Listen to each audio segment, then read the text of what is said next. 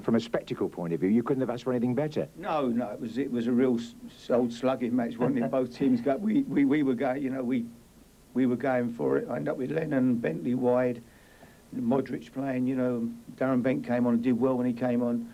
So yeah, we were, we had to go for it in the end, and uh, we we managed to get it. Well, I'm angry. I'm disappointed, and uh, but on the other hand, I have to to uh, say uh, in the most uh, difficult moments like that, I believe as well that my team produced an outstanding game today, and uh, we really deserved to win. And maybe we wanted too much to keep the result, and uh, uh, became a bit too cautious and put ourselves under pressure instead of continuing to score goal five and six. And that uh, I believe that uh, it's a little bit lack of maturity. But on the other hand, I would say as well underline this was outstanding quality today, and we had a, a fantastic game. Are you getting any sleep at the moment, Harry? I mean, it's been a bit of a whirlwind, bit of a whirlwind, hasn't it? Whirlwind, John. Yeah, it has been. It's been a difficult week, and uh, sort of leaving home half past five in the morning and getting home about nine at night has been uh, been very difficult this week. But uh, tonight made it all worthwhile. So did Sunday. Stunning game of football, wasn't it? Well, I don't know where to start, to be honest. It, it was just an incredible game of football, one I, I, I so enjoyed watching. I mean, it was just 100 mile an hour from, from both teams, from start to finish. And I think, if I'm honest, then it, a, a, point was, was a fair result because um, no one deserved to lose that yeah. game. Both of them just went at each other, hammer and tongs, and, and it could, there could have been more goals, it was so it? exciting. Hansen jumped up out of his chair for a Tottenham equaliser. I never thought I'd see the You ever seen him that excited before his life? 4-4, we would have thought it proper game of football. Now, I suppose for Harry's coming in, it's quite easy for him to work out what the positives and negatives are mm. with a 4-4 scoreline. Well, start, uh, start, with the good. Well, we'll have to start with the good because uh, he's, he's, just given some players some freedom, in particular uh, Bentley. I mean, 43 yards. What I mean, stunning, stunning strike. And I think you're going to see him improve. And I, I was very impressed with him tonight. Modric, I thought, was uh, was very good again. Bent come on and scored again. Aaron Lennon, the two subs, come on and scored, and it's a great shot from Modric, a little deflection, and Aaron Lennon, as I said, the sub come on, got the equaliser. I mean, you can see what it, what it means to him already, and I mean, what a, what a few days he's had, just incredible. Okay. Unbelievable. What's he got to work at? I don't think it takes a genius to work out. I can't believe there's been eight goals tonight, and, and I, I mean, he's, uh, he's been a bad influence on me, hasn't he? Eight goals, and I'm talking about defending, but if you're going to start with a goalkeeper, I know he's had his criticism on Sunday, and rightly so. He's come for that first one, nowhere near it. Comes for the second one, catches it, drops it. Lucky to get away with it.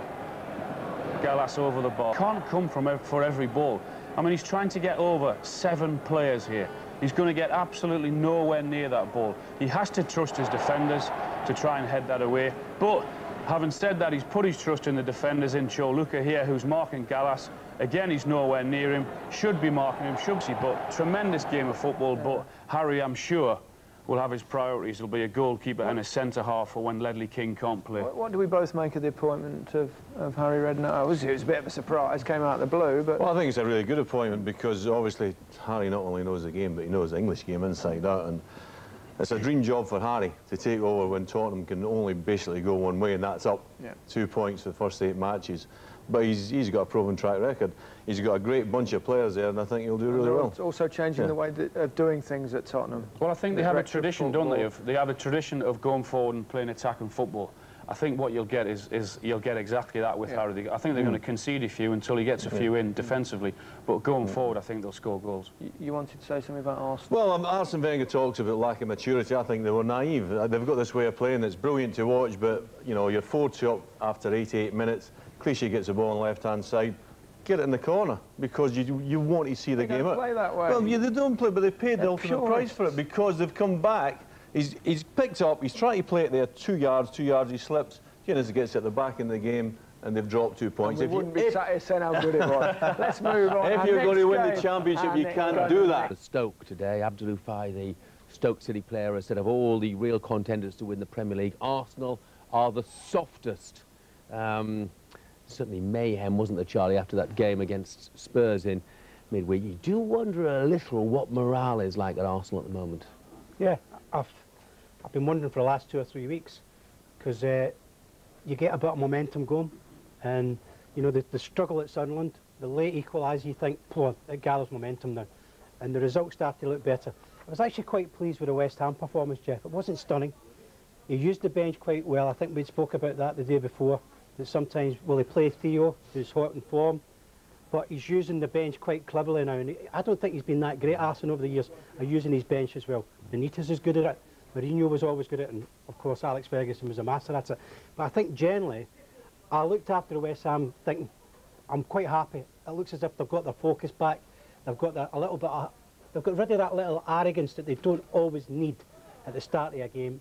You've got to earn the right to be arrogant. There's nothing wrong with but, having Charlie, it. look at the body language at the end of that game. I mean, there's all sorts of dressing room rows. And mm -hmm. Look at the body language of William Gallas. I know he's not playing today, but this is the end of the game.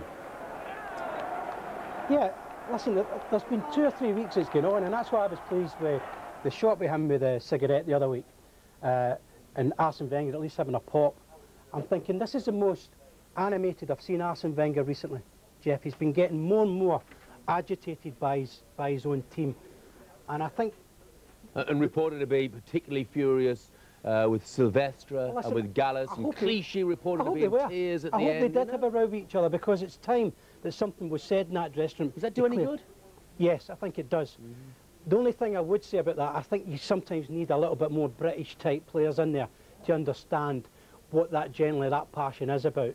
Now, they're a little bit more educated in, in terms of the way they take it, they look at it, and, and they, but they don't like to, I think, particularly the captain, Gallas, we questioned a little bit last season. Do you know what, Jeff? I don't think he likes anybody to have a pop at him. Mm. I think he's sometimes too busy or too precious about his own little issues. It's not Matt Mann, it's someone else. Captains are not just about that. We spoke about captains last week. Sometimes you just need a guy whose performance is not going to be that that that worrying.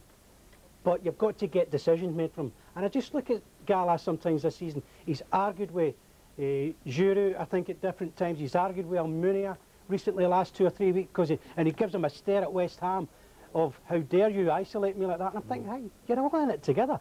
I just don't think there's that bond and that togetherness and that leadership that Arsenal should have. It it's certainly not as good as what it was in the Phil, past. have they made a mistake in not buying a big dominating central defender pre-season? Um, yes, I would think so. If uh, Arsene's always very prudent, isn't he? Um, doesn't like to splash out. Took Silvestre, and we all thought it's a good signing.